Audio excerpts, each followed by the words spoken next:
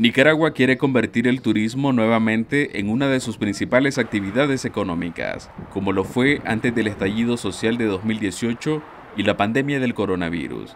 Estamos más enfocados en recuperar el turismo internacional y eh, por ende pues este año va a ser un año eh, mucho más exitoso.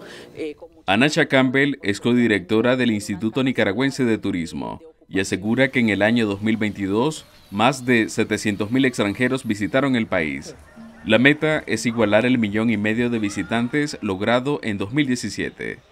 El año pasado cerramos con una eh, recuperación de alrededor del 65% de los datos que teníamos en el 2019, porque ya superamos el 2020, el 2021 y nuestra meta pues es llegar a los datos del 2017, que fue el mejor año en la historia del turismo.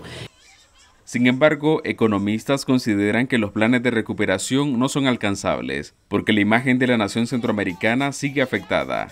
No se esperaría de que la afluencia de turistas extranjeros alcanzase los niveles de 2017, principalmente cuando tu turista es estadounidense, canadiense o europeo y sus gobiernos recomiendan no ir a, a dicho país porque en dicho país no se respeta el Estado de Derecho, no hay inseguridad jurídica. Y es por esa razón que especialistas coinciden en recomendar al gobierno nicaragüense resolver la crisis sociopolítica para posteriormente solucionar la situación económica.